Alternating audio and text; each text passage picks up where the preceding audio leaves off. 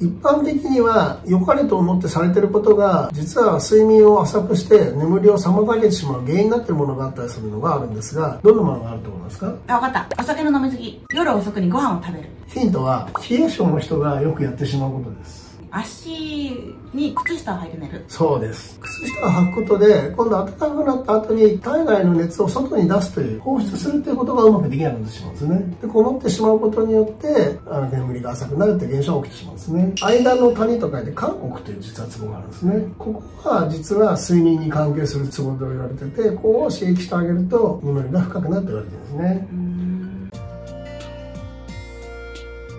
あなたの悩み解決哲学動員鍼灸院長の井上です。哲学同鍼灸院の口です。院長先生本日のテーマは何ですか？今回は眠りが浅くなる原因とよく眠れるようなツボとご紹介したいと思います。直先生は眠りが浅いと感じることありますか？はいあります。ちなみに眠りが浅くなる原因っていうのにはどんなものがあると思いますか？脳が活性化しちゃってると眠りが浅くなってしまうような気がします。じゃあどんなことをすると脳が活性化しちゃうんですか、えー、寝る前にスマホやパソコンを見てると脳が活性化してしまって眠りが浅くなってしまうように思います。そうですね。多分パソコンとかスマホから発するブルーライトというねライトが結構神経を興奮させてしまい寝れないっていうのは結構ありますよね。その他にも脳を興奮させる条件としてはストレスですね。ストレスによって脳が興奮状態になるとなかなか眠れなくなる。あとは年齢を重ねていって年を取ってくると日中のエネルギー消費量が減ってしまうんですね。そうすることによって体が睡眠を必要とする時間が少なくなってしまうために眠りが浅くなるというような現象が起きてしまうんですよね。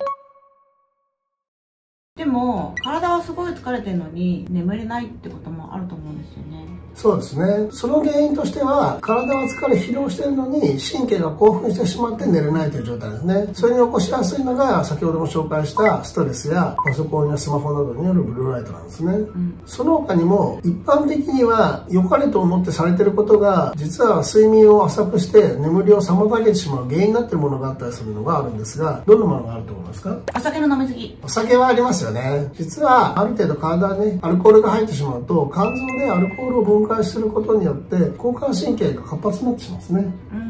それで睡眠を妨げるというのがあるのでただアルコールを飲むと睡眠に入るのは早くなるそうなんです、ね、はい、ね、ただその睡眠が深くなろうとするときに、アルコールを分解して交感神経が刺激されるようなことになってしまうので早く眠りには入れるけれど深く寝れないってことになってしまうんですね、うん、くなっちゃうね。はい他にも実はあるのがあ分かった。夜遅くにご飯を食べる。ああそれもありますね。それもやっぱり胃腸がね、ね、消化活動をしてしまうので眠りに入らないですね。まだあります。ヒントは冷え性の人がよくやってしまうことです。足が冷たいってことはい、足に靴下を履いて寝る。そうです。なんで靴下履いて寝るとダメだと思いますか？靴下を履いたことによって暖かくなるんですけど、はい、自分で体を温めることができなくなる。うんまあそういう面もあるかもしれませんが睡眠的に言うと、うん。靴下を履くことで今度暖かくなった後に体内の熱を外に出すという放出するということがうまくできなくなってしまうんですね。でこもってしまうことによってあの眠りが浅くなるって現象が起きてしまうんですね。じゃあ靴下を履いたまま寝て暑くて脱いで朝起きた時に靴下脱げてるのはいい。それはだから深く眠りに入るために無意識に脱いでしまったんですよね、同じ理屈で言うと湯たんぽも使ってしまうと熱の放出がしづらくなるので眠りには入れるかもしれませんが深く寝れなくなってしまうっていうのも出てくるんですよね。あとは意外に多くの人がやってると思うんですが T シャツを着て寝てる方が多いですよね。どういうこと？T シャツを着て寝ると実は睡眠が浅くなる傾向があるんです。ねなんで T シャツパジャマって T シャツじゃん。要は睡眠の時に着る服で重要なのは、うん、吸湿性があって伸縮性があって保温性があるってこの3つを同時に満たしてるのが大事なんですね。なので T シャツは吸湿性がいいというよりは、ただ単に汗をするとびちょびちょになるから別に吸湿性は良くないですよね。吸っちゃうだけなんであそうですね、はい、で保温性もないですよね。保温もないですね、はい、という意味で睡眠の妨げになってしまうんですね。睡眠が浅くなるのには様々な理由があるんですけども睡眠が浅くなることによってどんな症状が起こると思いますか？眠れないことによって昼間うとうと寝てしまったりとかして仕事に効率が悪くなったりとか交感神経と交感神経のバランスが悪くなって自律神経が乱れてしまう。それなんですね。あとは自律神経の乱れにも関係するのが免疫力が低下してしまうんですね。ああ睡眠によってね要は睡眠によってね成長ホルモンによる細胞の修復とかいったことが行われてるわけですが睡眠が浅くなることによってそれが行われないことによって免疫力も下がる傾向が出てしまうんですね。あとは認知症とかにもなりやすいとも言われてるんですねこれは睡眠というのは実は脳の老廃物を排出する時間とも言われてるんですね。なので脳の老廃物の排出がうまく行われないことによって老廃物が溜まって認知症になりやすい傾向もあるそうなんですね。さらに肥満にもなりやすいとも言われてるんですね。ああそうですねそうそう、はい。眠ることによって体も回復するので体の代謝がうまくいかなくなって肥満にもなりますよね。そうですね。それはありますね。あとはそもそも食欲を抑えるホルモンであるレプチンってものがあるんですがうん。そのレプチンの分泌も実は低下してますそうなんですねなのでそれなので食欲が増進してしまって余計に食べてしまってねうん。増えてしまうっていうのとあとは眠りが浅いことによって疲れが取れないじゃないですか、うん。で体力を補うためにもいっぱい食べなきゃっていう感じで食べてしまって余計太るっていうのがあるそうなんですね、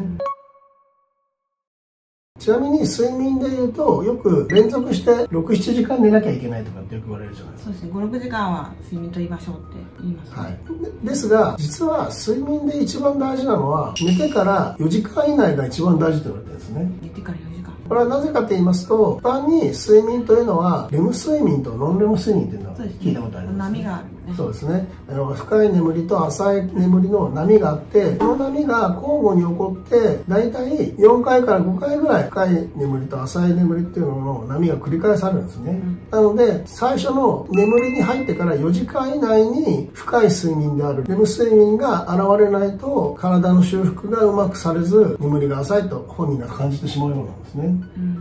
ただ眠りに入るのが早いのが大事というよりは眠りに入った後のその4時間以内にちゃんと深い睡眠まで取れるかというのが大事なんですね、だからこそ例えばアルコールみたいのを取って眠りに入るの早くてもその後深い眠りに入れないとかね、うん。いうのはどうしても眠りが浅くなる原因になってしまうんですね、なので眠りが浅くならないためには眠りが浅くなるような要因を排除することが大事なのでよく言われるようなね寝る前にあんまり食事をしないアルコールは飲まないとかね。スマホやパソコンは寝る1時間か2時間前には見ないようにするとかっていうのが大事なんですね、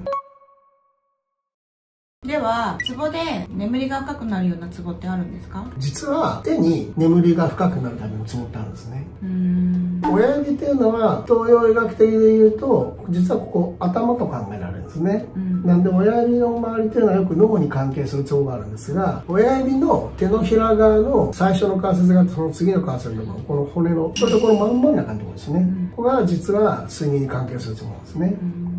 もう一つはよく針のツボで出てくるここに合谷っていうツボがありますよね、はい。この合谷というツボがあるのはこの中趾骨と言われるところのこの下の方にあるんですがこの骨の真ん真ん中に間の谷と書いて韓国という実はツボがあるんですね。ここは実は睡眠に関係するツボと言われててここを刺激してあげると眠りが深くなって言われてるんですね。うん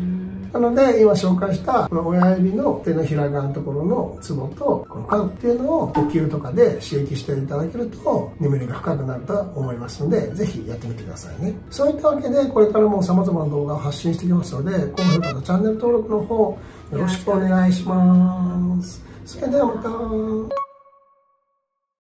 眠りを妨げてしまう原因になっているものがあったりするのがあるんですがどんなものがあると思いますか？昼寝。長時間の昼寝。それもうお年寄りじゃん。だって。普通の人は働いててそういうこと疲れてるから寝れないとかいう人はさ昼寝そもそもできないじゃん